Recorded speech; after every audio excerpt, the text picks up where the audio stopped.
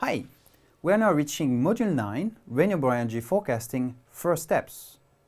We've got our basics right by describing forecasting products. We got our basics right by understanding how to verify forecast, how to assess forecast quality to improve forecasting further. Now we can finally get started with some modeling and some proper forecasting. Before to get into this model, I would like to mention that the MIT Technology Review has actually considered forecasting as one of the breakthrough technologies in 2014. For those who don't know, the MIT Technology Review was founded by MIT in 1899 and is seen today as a leading magazine to tell us and review technological innovation worldwide. In terms of impact, it has around 600,000 members and around 2.5 million website visitors per month.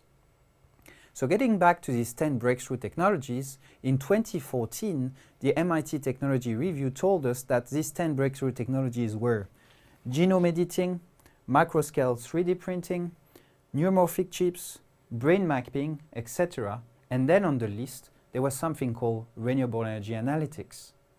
Renewable energy analytics broadly covers all these aspects of modeling and forecasting that we are discussing in the course. If you would like to look at this ranking or this list of 10 breakthrough technologies for that year, the link is available on the slides associated with this video. Now, with this first step module, what I would like you to be able to do is to describe generalities of techniques that can be used to generate renewable energy forecasts. I would like you to build and estimate fairly simple models to be used as a basis for forecasting. And I would like you to understand the basic concepts of regression that we'll use a lot for modeling and forecasting, and then feature engineering, which is this general idea that out of all the data you may be using and all the variables that they represent, you have to figure out how you're going to define some uh, relevant and proper input for your forecasting. Then in practice, the Module 9 is based on three video lectures and associated self-assessment quizzes. Through these three blocks, we'll go through the generalities and benchmark approaches.